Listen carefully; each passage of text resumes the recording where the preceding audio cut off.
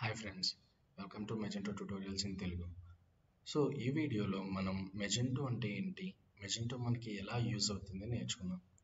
Magento అంటే ఒక e commerce platform అంటే మనం ఏదైనా ఒక వెబ్సైట్ తీసుకున్నప్పుడు ఒక ప్లాట్ఫామ్ అనేది కంపల్సరీ నీడ్ ఎందుకంటే మనం ప్రతి ఎలిమెంట్ కూడా ఇక్కడ కనిపించే ప్రతిదీ మనం క్రియేట్ చేయాలి ఆల్రెడీ మనకి క్రియేట్ చేసి ఉన్న ప్లాట్ఫామ్ తీసుకుంటే దాన్ని యూస్ చేసుకుంటే మనకి చాలా టైం సేవ్ అవుతుంది. సో మెజెంటో కూడా అలాంటిది.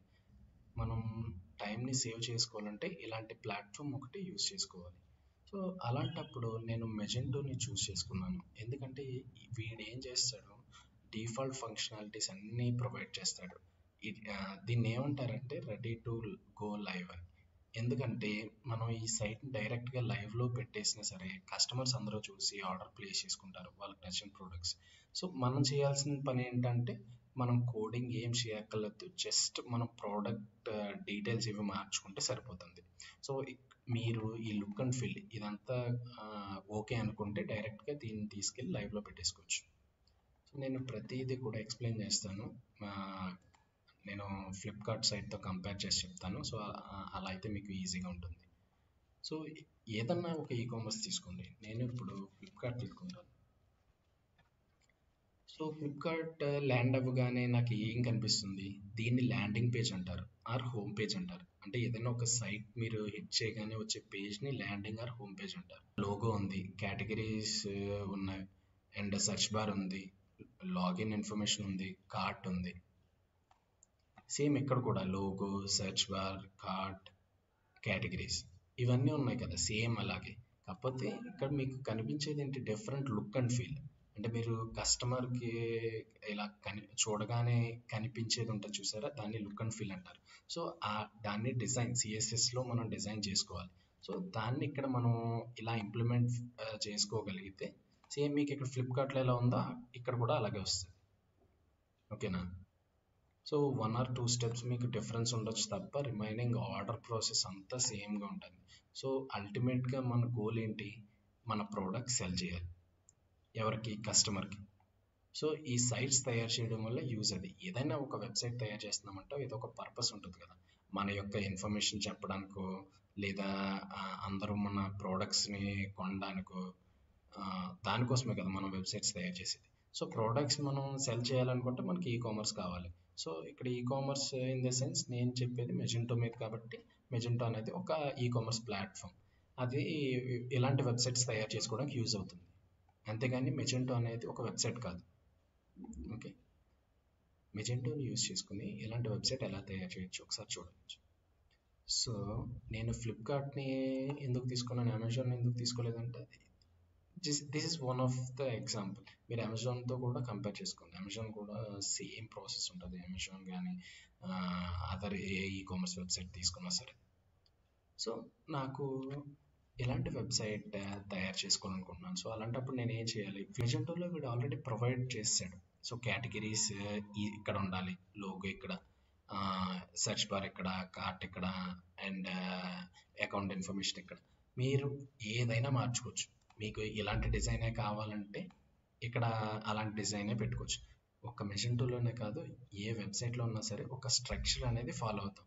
అలాంటప్పుడు మీరు తెలుసుకోవాల్సింది ఏంటంటే ఎక్కడెక్కడ ఏం పెట్టాలి? సో వాళ్ళు ఆల్రెడీ డిఫైన్ చేశారంటే దానికి ఒక పర్పస్ ఉంది మీనింగ్ ఉంది. ఇక్కడ హెడ్డర్లో మనం ఇక్కడ సెర్చ్ లోగో ఐకాన్ ఇవే ఎందుకు ప్లేస్ చేసాం? మనం దాన్ని ఈ కింద ఎక్కడో ఎందుకు పెట్టుకోకూడదు? సో ఎందుకంటే ఫస్ట్ ఫస్ట్ కస్టమర్కి మనం ఏం చూపించాలి కేటగిరీస్ చూపించాలి కేటగిరీస్ చూపించినప్పుడు ఇక్కడ ఎలక్ట్రానిక్స్ ఉందా? ఇక్కడ ఇక్కడ డ్రెస్కి సంబంధించింది ఉందా? ఓకే. ఇక్కడ టీవీస్కి సంబంధించింది ఉందా? ఇలా చూడగానే డైరెక్ట్గా వాటికి వెళ్ళిపోతాడు. సో కస్టమర్ మొత్తం సైట్ అంతా ఇలా కిందకు వచ్చి చెక్ చేసుకుని ఇక్కడ ఏముంది అని స్క్రోల్ చేసుకుని టైం వేస్ట్ చేసుకోడు కదా. ఇలా ఎక్కడి వరకు రాడు కదా? సో అందుకు మనం ఏం చేస్తామంటే మనం కేటగిరీస్ని ఎప్పుడు టాప్లోనే పెడతాం. దానికంటే ముందు ఈ సెర్చ్ బార్ కానీ లోగో కానీ ఈ మినీ కార్ట్ ఎన్ని ఐటమ్స్ యాడ్ చేశాడు అన్నది కానీ దానికంటే కేటగిరీస్ కంటే ముందు పెడతాం.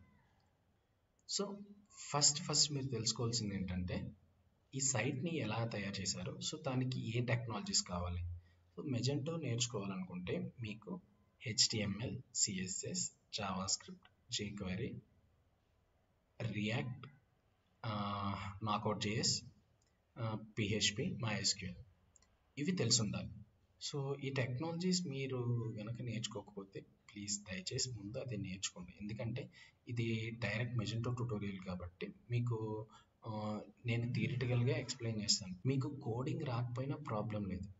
సో మీరు మెజెంటో సైట్ని డైరెక్ట్గా లైవ్ కూడా మూవ్ చేయొచ్చు. మీకు అసలు కోడింగ్ నాలెడ్జ్ అవసరం ఉండదు. బట్ వీటిని మాడిఫై చేయాలనుకుంటే.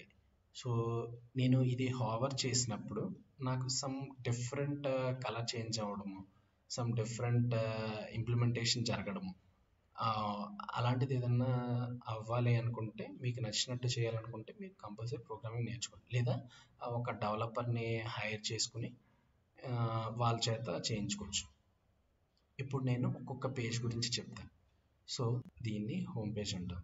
హోమ్ పేజ్లో మీకు కనిపించేది ఏంటి హెడర్ కంటెంట్. ఈ కంటెంట్లోనే మనకి బ్యానర్స్ కూడా వస్తాయి వీటి బ్యానర్స్. And photo section. ఈ కింద ఉంది చూసారు? ఇది కూడా ఫోటోలోకి వస్తుంది బట్ ఇది సెపరేట్గా మనం కాపీరైట్ అని పిలుస్తాం copyright section. Okay? So header footer and ఈ కంటెంట్ కామన్గా ప్రతి పేజ్లోనే ఉంటుంది. బట్ uh, ఈ కంటెంట్ మనం వేరే పేజ్లో ఎలా uh, కాల్ చేస్తామంటే కొన్ని కొన్ని చోట్ల మనం కేటగిరీ డిస్క్రిప్షన్కి కానీ ప్రోడక్ట్స్ యాడ్ చేసుకోవడానికి కానీ యూజ్ చేస్తాం. బట్ హెడర్ చేంజ్ అవ్వదు ఫోటర్ చేంజ్ అవ్వదు. అన్ని పేజీలోనే కామన్ సో మీరు దీన్ని స్టాటిక్ అనుకోవచ్చు. అంటే ఎవ్రీ పేజ్లోనే ఒకలాగే ఉంటుంది కాబట్టి. సో దీన్ని డైనమిక్ అనుకోవచ్చు. ఎందుకంటే ఒక్కొక్క పేజ్లోనే ఒక్కొక్క కంటెంట్ యాడ్ అవుతుంది కాబట్టి. నేను మళ్ళీ చెప్తున్నాను. ప్రోగ్రామింగ్ అనేది మీకు నెసెసరీ కాదు. సో ఎప్పుడు అవసరం ఉంటుంది? ఎప్పుడైనా మీరు దీనికి ప్రైస్ డైనమిక్గా రావాలి. సో నేను అంటే కస్టమర్ లాగిన్ అవుతున్నప్పుడు దీని యొక్క ప్రైస్ మారాలి. లేదా దీని యొక్క నేమ్ మారాలి కస్టమర్ బట్టి. సో అలాంటప్పుడు నాకు ప్రోగ్రామింగ్ అవసరం అవుతుంది. సో ఇంకా ఇది ప్రోడక్ట్ సెర్చ్ చేసినప్పుడు నాకు ఐ నేను ఫోన్స్ అని సెర్చ్ చేయగానే ఐఫోన్స్ రావాలి. ఇంకా different different types of phones రావాలి. అది డిఫాల్ట్ది బట్ విత్ స్పెసిఫిక్ కలర్ ఏదన్నా పర్టికులర్ కలరే రావాలి. బట్ నేను టైప్ చేసేది ఏంటి? ఇలా ఫోన్ అని టైప్ చేస్తే రెడ్ కలర్స్ ఫోన్ రావాలి. ఆల్ రెడ్ కలర్స్ సో అది కస్టమైజేషన్ సో అలాంటి కస్టమైజేషన్ కోసం మనం ప్రోగ్రామ్ని యూజ్ చేస్తాం. అదర్వైజ్ uh, మీకు ఏదైనా టెక్స్ట్ చేంజ్ చేయాలి. సో దీన్ని రీప్లేస్ చేయాలి. లేదా ఈ కంటెంట్ని కంప్లీట్గా మార్చి మీరు ఓన్గా కంటెంట్ పెట్టుకోవాలి అనుకుంటే అది ఆల్రెడీ ఇన్బిల్ట్ ఫీచర్ ఉంది. మీరు జస్ట్ పేజ్ క్రియేట్ చేసుకుంటే సరిపోతుంది. సో దానికి ప్రోగ్రామింగ్ ఏం అవసరం లేదు. నేను నేను నెక్స్ట్ వీడియోలో చెప్తాను ఎక్కడెక్కడ ప్రోగ్రామింగ్ అవసరం వస్తుంది. బట్ ఇంకొకటి అర్థం చేసుకోవాల్సింది ఏంటంటే ఫ్లిప్కార్ట్లో ఏదైతే ఆర్డరింగ్ ప్రాసెస్ ఉందో సో మనం ఎలా కస్టమర్గా ఆర్డర్ ప్లేస్ చేసి ఆ కస్టమర్గా ఆర్డర్ని ఎలా ట్రాక్ చేస్తున్నామో సేమ్ అలాగే మెజెంటోలో కూడా జరుగుతుంది.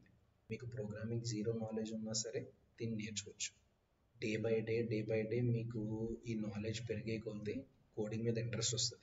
ఈ ఎలిమెంట్ని మనం ఎలా మార్చుకోవాలి? దీన్ని అడ్మిన్లో మార్చేసుకోవచ్చు. ఈ కేటగిరీస్ని అడ్మిన్లో మార్చుకోవచ్చు. సో మనం జస్ట్ మన దగ్గర లాగిన్ ఇన్ఫర్మేషన్ ఉంటే ఇవన్నీ చేంజ్ చేసుకోవచ్చు. సో సెపరేట్గా మనకి కస్టమర్ జర్నీ ఎలా అయితే ఉందో అలాగే అడ్మిన్కి కూడా ఉంటుంది. అంటే ఇప్పుడు మనం ఆర్డర్ ఒకటి ప్లేస్ చేసాం. ఆ ఆర్డర్ని ఎలా ప్రాసెస్ చేస్తాడు అడ్మిన్ అనేది? అది మనం నెక్స్ట్ వీడియోస్లో చూద్దాం. ఈ వీడియో మీకు నచ్చినట్లయితే షేర్ చేయండి లైక్ చేయండి కామెంట్ చేయండి సబ్స్క్రైబ్ చేయండి. ఓకే మళ్ళీ మనం నెక్స్ట్ వీడియోలో కలుసుకుందాం.